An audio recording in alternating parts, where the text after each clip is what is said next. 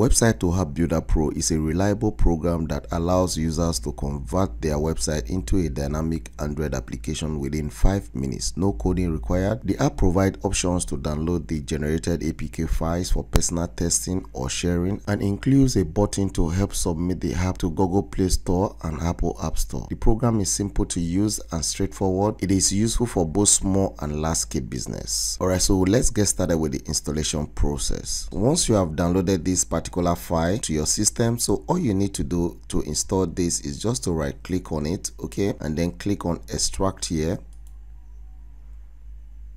Okay you can see i have this file extracted. Now you double click on the extracted file. You can see the full package here all right? So you are going to open the setup file then install the setup file okay? Accept and then click next. Next. Install okay you have to uncheck this before clicking on the finish button here. Then after that you have to go right back and then open the crack copy the crack and then go to your desktop. On your desktop you're going to find the website to app builder here okay? So just right click on it and then select this open file location all right so this is the file location. All you are going to do is just to paste the file you just copied. The crack you copied you have to paste it here.